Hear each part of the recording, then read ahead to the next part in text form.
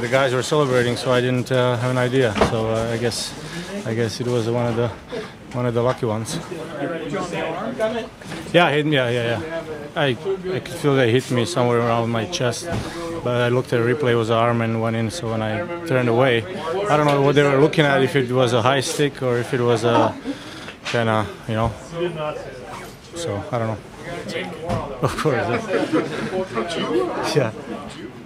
Ever wonder, you know, with everyone out, you know, how, how this team continues to. Well, this was this was typical team game. I mean, we, we outshot them big time up until I think 10, 10 minute mark in the third, and uh, you know it was it was a grind, and you know everybody contributed. You know, Marty was great in net, and and. Uh, um, you know, we're talking about we have to shut their uh, first line out, you know, um, and we did. So uh, it was a big game.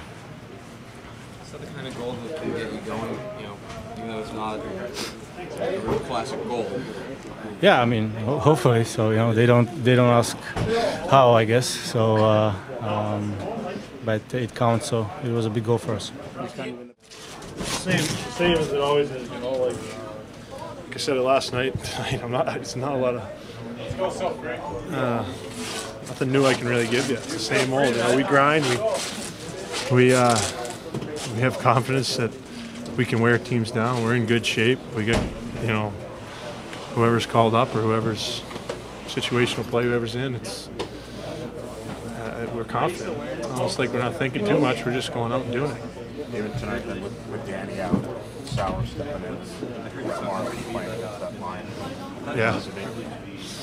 Yeah, that's a big thing too, because obviously Danny's.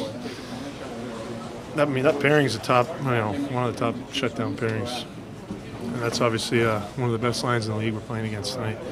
So that's you know, it's a big game for Sally. He's he's played with some confidence all year, which has been great for us.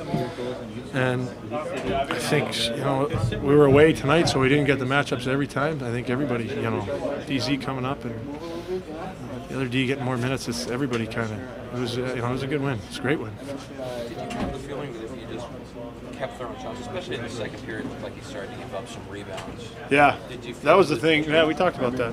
Shoot pucks, bad angles. He's, you know, those kids had success, um, but we had some, uh, we had some, we saw some rebounds coming out, especially from bad angles, and I hit a couple from, you know, from the blue line.